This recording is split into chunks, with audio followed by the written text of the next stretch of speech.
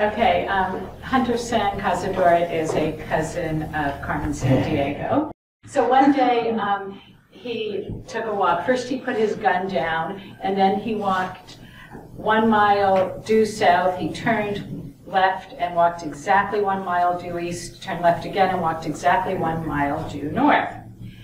And um, at the end of this walk, he picked up his gun and shot an animal. Now, I'm going to ask a question on the next slide, and if you've already seen it, and that's why you know the answer, don't shout it out. Give other people time to think, okay?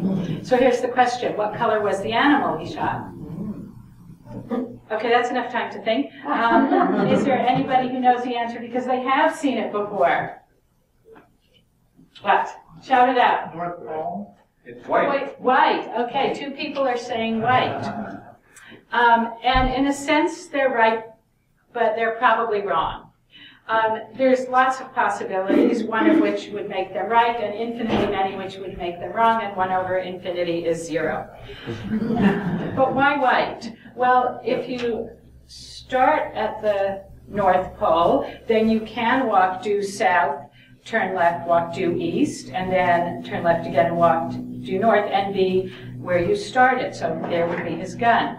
He would return to it. Um, triangles on spheres can have, do have more than 180 degrees in the interior angles. So we have two 90 degree angles there. So he might have shot that cute polar bear.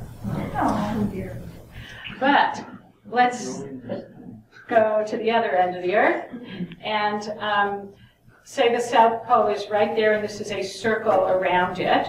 Um, let's say that circle has a circumference of one mile. So if he starts here, he, a mile away from it, he would walk one mile south, one mile east, around, and then one mile north. And so he'd be there.